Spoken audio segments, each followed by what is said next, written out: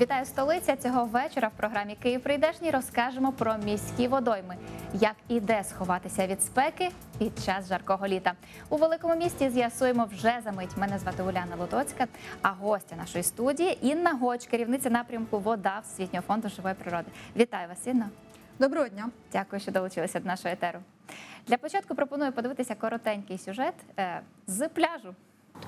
Чисто. Коли влітку зранку сюди приходиш, то вона на наскільки прозора, що ти бачиш там всіх цих маленьких рибок, які е, плавають. Цей кусочок він дуже чистий, тому що тут слідкують і за пляжем, тут ніколи не побачиш якогось там укурка чи, чи ще щось. Підготували 14 пляжів та 18 зон відпочинку. На всіх цих пляжах та деяких зонах відпочинку виставлені рятувальні пости. Вода після зимового періоду без е, шкідливих різних елементів. У нас скільки води, голосіво, скільки озер, ну чистих. Е, Осокурки, скільки там озер. Біле озеро на оболоні, воно е, джерельне. У нас достатньо тієї води, і краще підтримувати її, ну не забруднювати. Основне це забруднення це фосфати, а також скиди якихось промислових підприємств.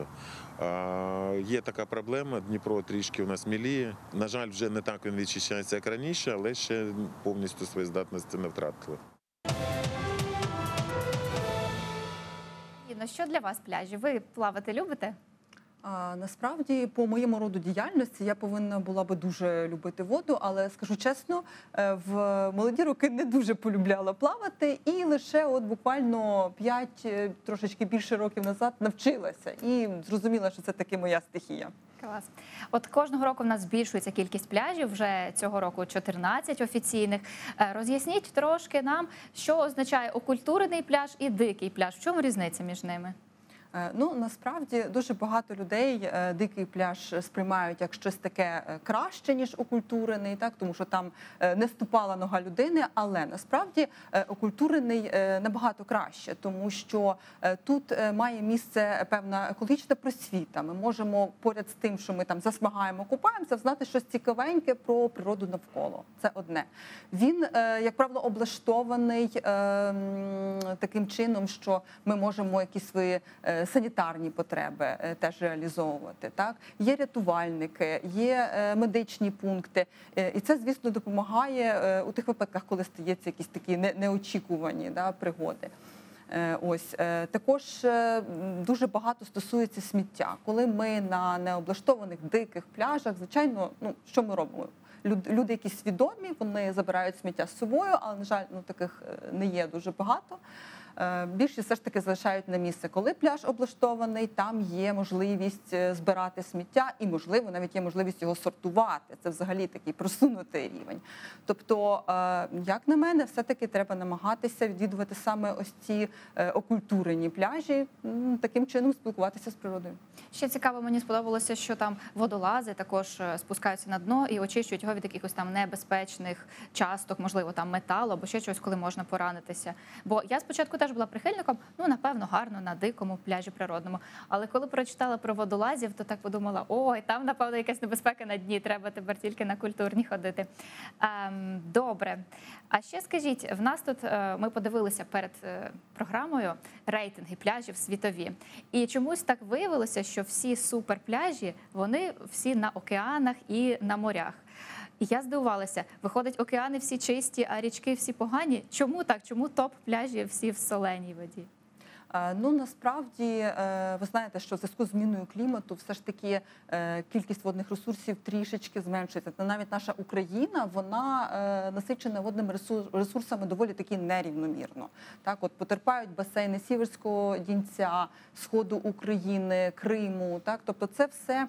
Е, Такі частини нашої території, які е, люди дійсно переселяються з сіл, навіть з містечок, тому що вода зникає.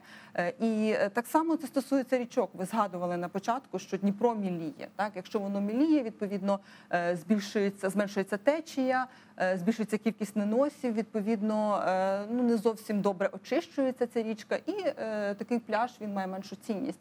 Натомість е, очищення в межах океанів воно відбувається краще, і люди надають перевагу саме таким пляжам і такій воді.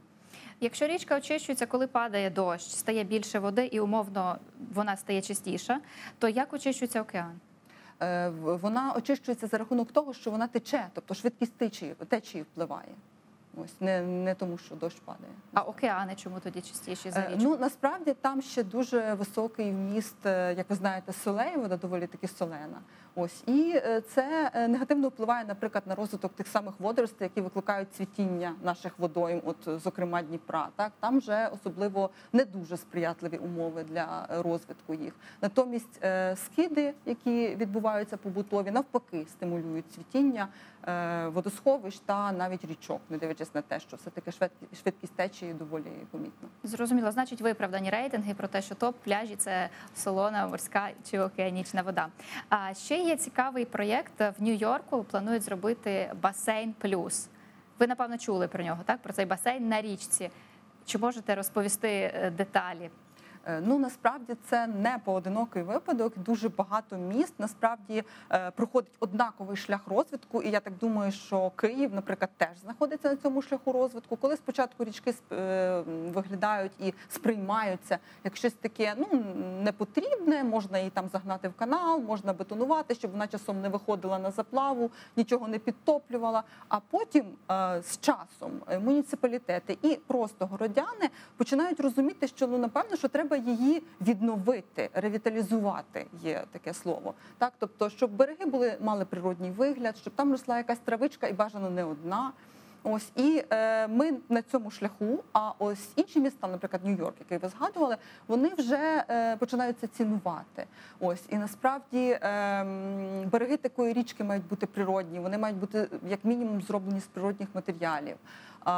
Там е, не має бути жодних штучних е, утворень, як, наприклад, там бетонні, як ми полюбляємо, якісь.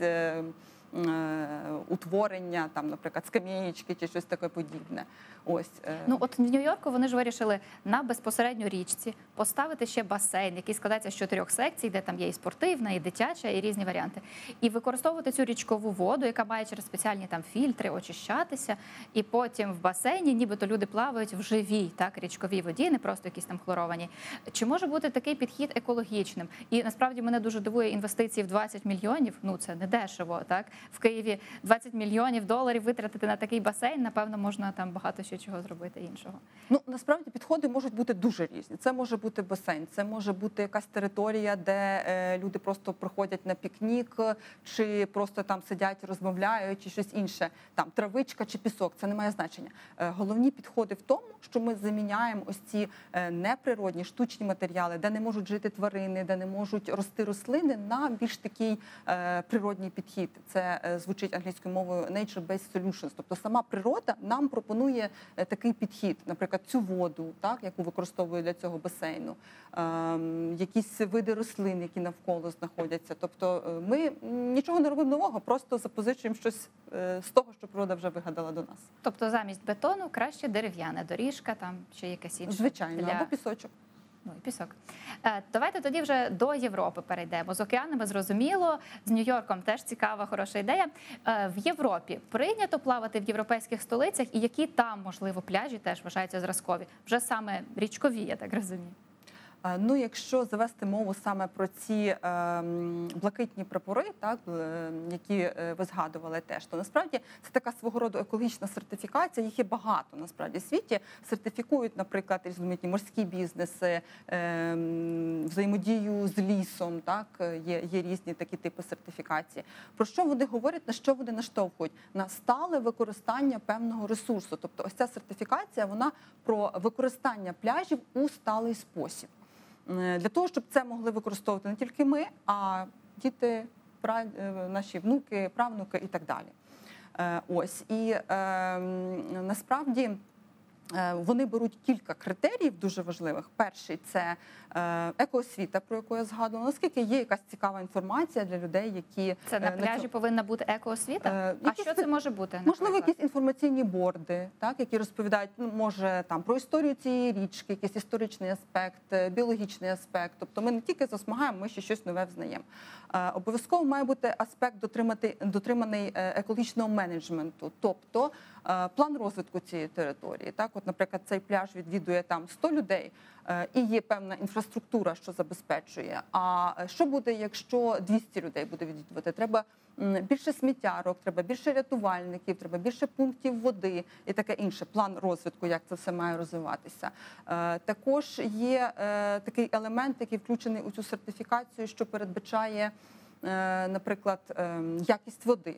Ну зрозуміло, без якості води не дуже зручно е, купатися у тій воді, яка не хорошої якості. А як це зрозуміти? Це один раз береться ця проба і потім е, відсилається в головний офіс, там тоді видають цей блакитний прапор? Чи це якісь періодичні заміри? Ну так, КП «Шплесо» періодично робить аналіз води і там вивішує спеціальні прапорці, червоний, там жовтий і зелений, здається, е, в залежності від того, яка там вода сьогодні, чи можна плавати. Але це в нас на місцевому рівні, так це не стосується блакитних прапорів. А якщо говорити про блакитні, то один раз зробили аналіз і дали прапор, чи періодичні аналізи?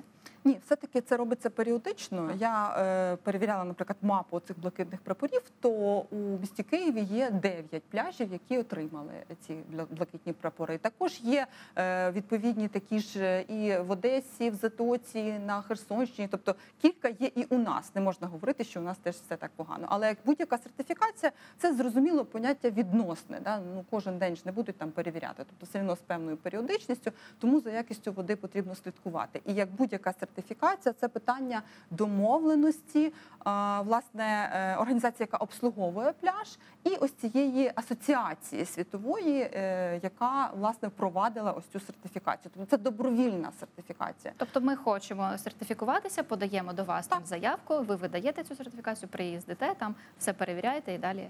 Добре, а ще крім якості води, які ще важливі критерії для того, щоб отримати цей блакитний прапор?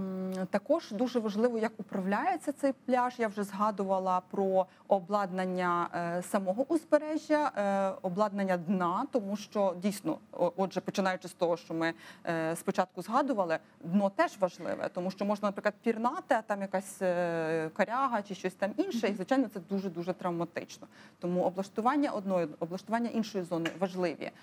Сортування сміття важливе. Важливо, щоб не було стоянки транспорту прямо на пляжі. Теж це дуже важливо. Е, Наявність е, санітарної інфраструктури, е, туалет, помити руки, попити води чистої.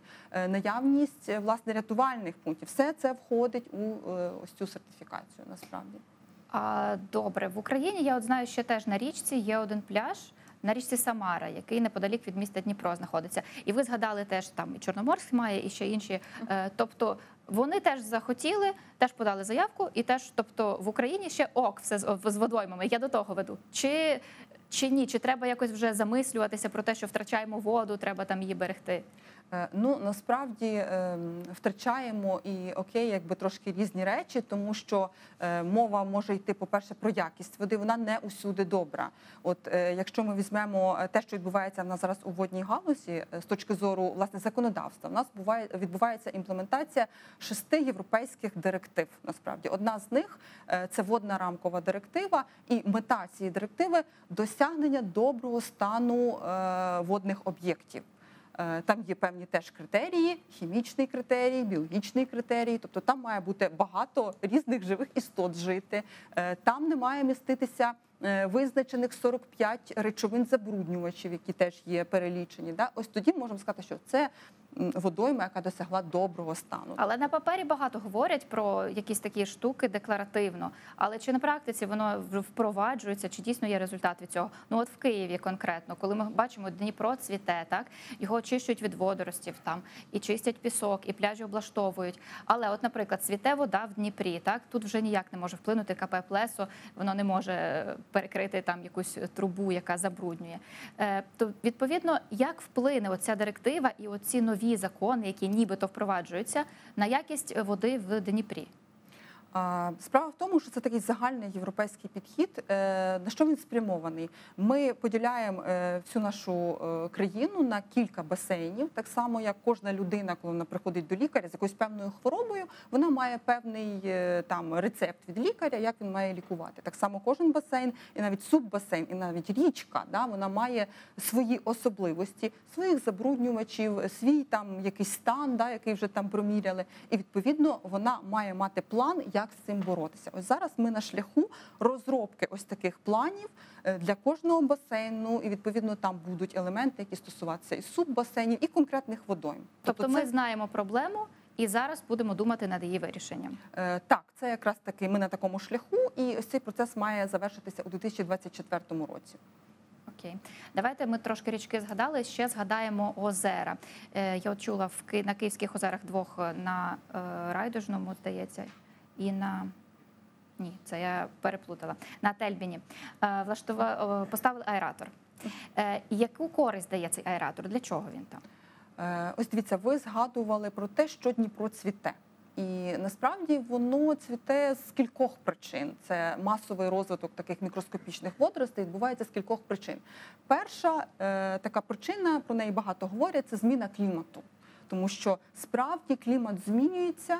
У нас е, справа в тому, що дуже багато людей думають, що це просто підвищуються температури. Насправді це не зовсім так. Він розбалансовується. Іноді, коли холодно стає ще холодніше, було холодно стає ще холодніше, було тепло стає ще е, гарячіше. Тобто І такі втрата весни, як зараз Е, немає весни. Ну от власне перехід, так такий дуже різкий.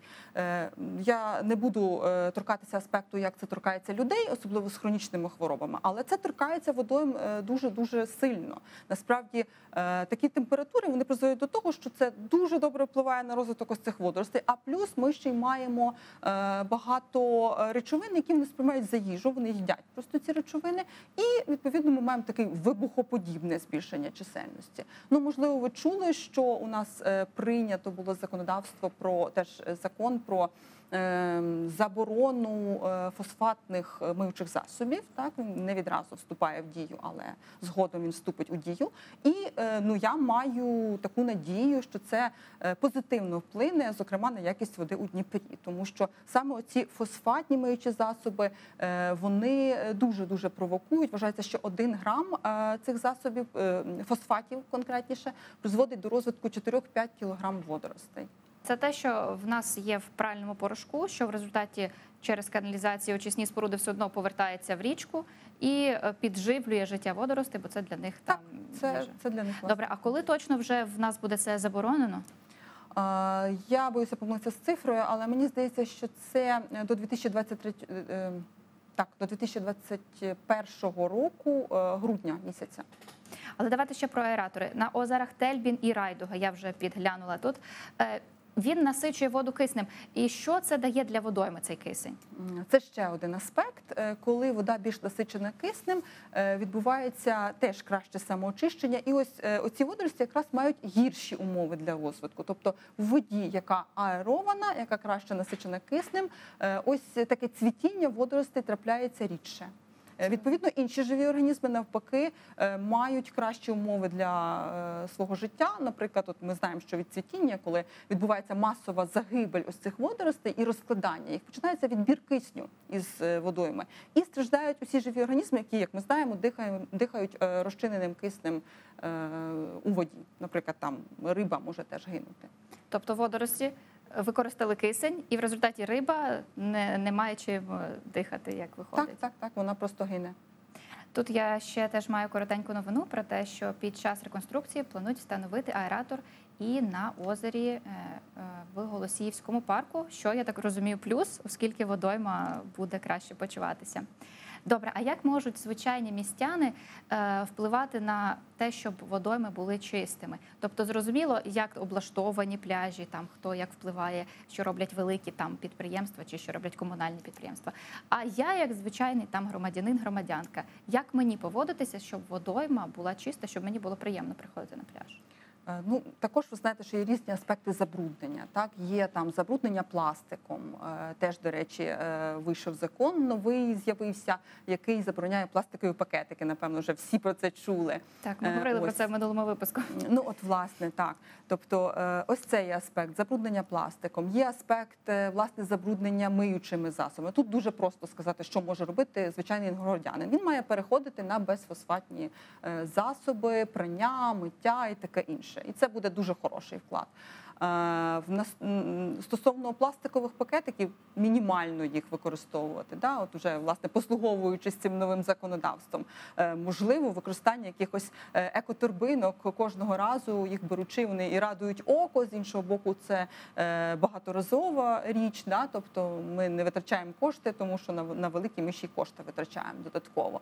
Е, крім того, дуже багато, е, дуже часто, точніше, люди е, чекають, поки хтось там прийде щось поприбирає. Да? Якщо ми бачимо е, дійсно несанкціоноване якесь сміттєзва- сміттєзвалище поблизу річки, можна, скажімо, е, просигналізувати в ту саму екоінспекцію. Є у них така екомапа, де просто наносиш прямо з телефону точку, і вони направду реагують.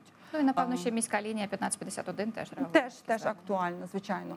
Ось, е, але коли ми бачимо, що ну просто хтось там залишає, можливо, просто варто зробити зауваження. І коли ми будемо частіше робити такі речі, то ну напевно ситуація трішки змінюється, тому що е, треба вести мову про загальну зміну звичок людей. Так жодне комунальне підприємство, чи муніципалітет, чи будь-яка влада, якщо не зміниться поведінка кожної людини, ну принаймні маси основної, да, нічого не зможе зробити. Ми, до речі, говорили про е, прапори блакитні, і там ще один важливий критерій, який ми забули згадати, це саме інклюзивність. І от я е, подивилася так таке відео з Чорноморська, де е, чоловік, який сам е, з інвалідністю і сам е, на візку пересувається, домігся того, щоб в Чорноморську поставили спеціальне крісло амфібію, в якому можуть плавати люди з інвалідністю. І це така дуже була зворушлива для мене історія. Е, Скажіть, можливо, ви знаєте, наскільки добре впливає вода на, на таких людей також? Е, Ну, знаєте, тут мені складно сказати, тому що я не лікар, але от е, в зв'язку з цим, що мені приходить в голову, одним із елементів цієї сертифікації є теж інклюзивність. Тобто, е, ну я не веду мову там про якісь спеціальні, можливо, плавальні засоби, да, але ж хоч би доступ до цього пляжу, тому що звичайно такі люди вони потребують відпочинку і можливо навіть більше ніж здорові люди. Так, і до речі, в Києві теж на цих пляжах, які мають блакитні прапори, я так розумію, що теж є всі ці крісла амфібії, і можна скористатися, тобто облаштовані пандуси, облаштовані окремо вбиральні для людей з інвалідністю, і так само можливість поплавати, що дуже приємно, бо дійсно, коли людина приходить на пляж, але плавати не може, так то, то це напевно болючий досвід. І от, власне, пан Андрій, який з Чорноморська, він в своєму місті добивався цього і добився. Молодець. Ще гарна історія про те, як е, дітей вирішили відправити вчитися на пляж. Це школа в іспанському регіоні Мурсія. Після того, коли в них було дуже довго дистанційне навчання, вони подивилися, що це їм не подобається, і організували навчання на пляжі. Можливо, ви також чули ще якісь цікаві історії такого ж типу, коли нібито незвично місце для відпочинку використовували для таких серйозних речей, і це спрацювало.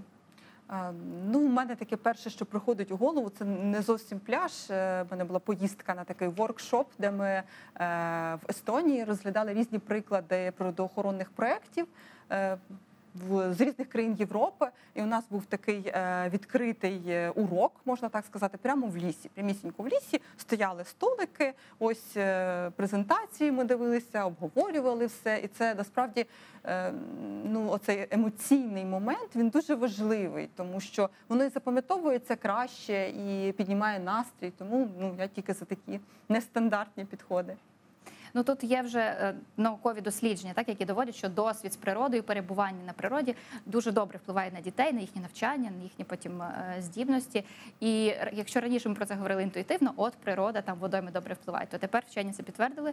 І можна сказати, що школа в Португалії дуже добре зробила рішення, що своїх діток вивела на пляжі. Е, А як би ви оцінили розвиток пляжної інфраструктури Києва ну там останні там кілька років? Чи є прогрес? Чи ви його спостерігаєте? А, ну насправді останні роки у мене настільки активне таке життя соціальне, що немає часу ходити на пляжі. Але мені здається, навіть от я, е, готуючись до сьогоднішнього ефіру, е, подивилася офіційний сайт КП Плесо. Мені здається, що все-таки прогрес є в плані принаймні прозорості, да? тобто насиченості новинами. Громадськість інформують, ось ми зробили те і те. Коли ж е, ну кілька років назад мені здавалося, що е, ну цей показник був е, набагато на нижчому рівні. Ну і, і це і це важить. Як на мене, це важливо. Є ще такий документ, як водна стратегія міста Києва. Що вона включає і що вона означає теж для мене, як для звичайної громадянки? Е, Ну, от е, я згадувала вже про плани управління річковими басейнами і дрібніші документи, е, такі, які мають включати. Да, це вже є якісь окремі плани кожного для кожної річки, можливо, там кожен муніципалітет може прийняти. Це як матрьошка, да, така своєрідна. Тобто, в межах того всього, що планується на національному рівні, потім на регіональному, потім відповідно і на міському рівні. Воно має бути все, так би мовити, одна лінія. До речі, теж в плані боротьби, ось тут була історія в Португалії, створили озеро величезне Алкева. Це по суті як величезне таке водосховище, і таким чином вони борються з опустеленням. Е, Тоді роз'ясніть мені ще про водосховища. Як вони допомагають боротися з опустеленням? І от в нас теж є водосховища, тут і Київське, і Канівське.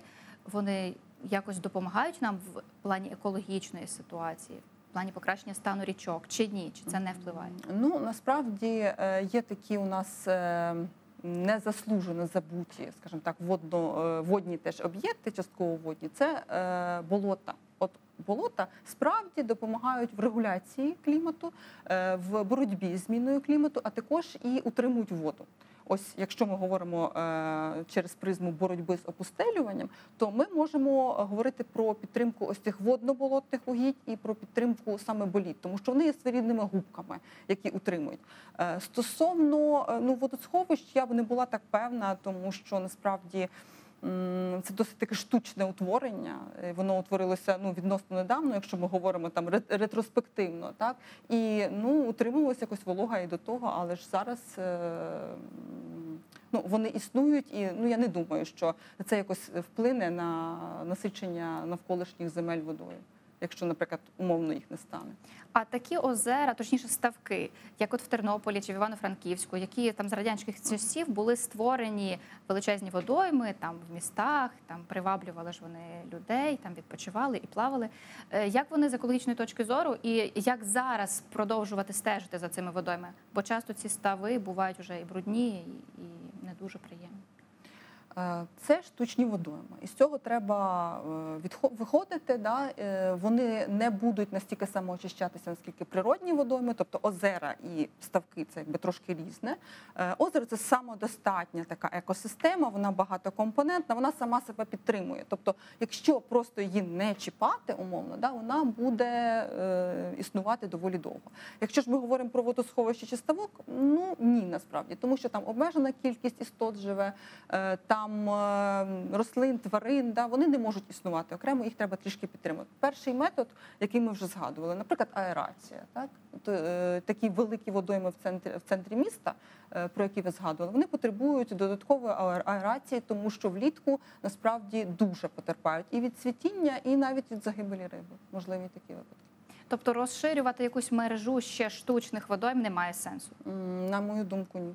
Краще зберігати саме живі природні. краще відновлювати ті, які були е, колись живими водоймами. Зараз вони там перетворилися в канали, використовувати якомога більше природних матеріалів і повертати їх до того природнього вигляду, е, які, які вони там були там 100 років, наприклад, назад чи 50 років назад.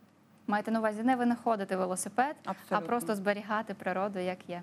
Дякую вам дуже, Інно, за цю розмову. Нагадаю, що з нами в студії була Інна Гоч, керівниця напряму вода Всесвітнього фонду живої природи.